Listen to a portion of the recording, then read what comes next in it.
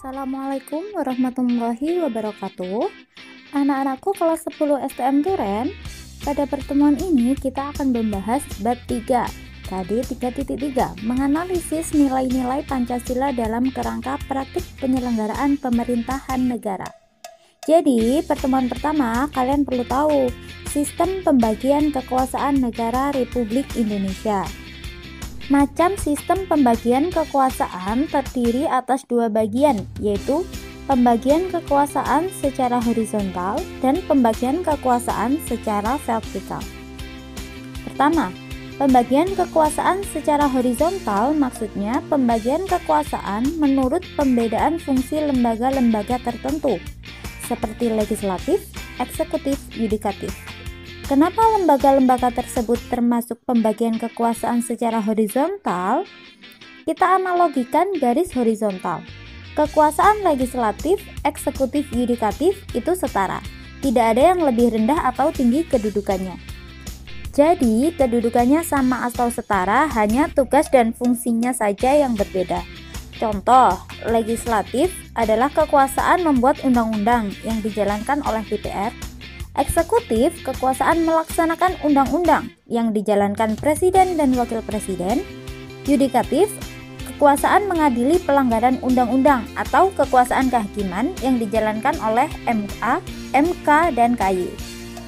Pada tingkat pemerintah pusat ada pula kekuasaan konstitutif, yaitu kekuasaan mengubah dan menetapkan undang-undang dasar yang dilaksanakan oleh MPR.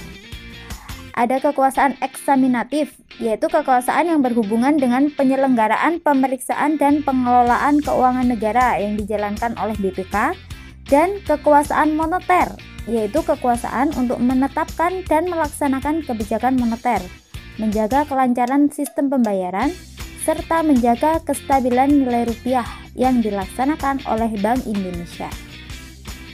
Secara garis besar, kekuasaan horizontal dapat dilihat dari bagan berikut. Bisa dipahami? Antar lembaga negara, keduanya setara bukan? Hanya tugas dan fungsinya saja yang berbeda.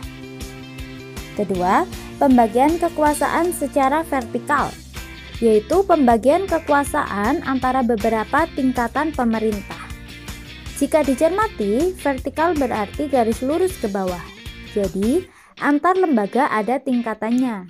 Contoh, presiden, di bawahnya ada gubernur, di bawahnya lagi bupati atau wali.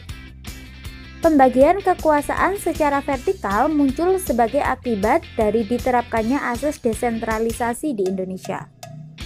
Jadi, ada tingkatan pemerintahan di mana pemerintah memberikan wewenang kepada pemerintah daerah untuk mengatur daerahnya sendiri.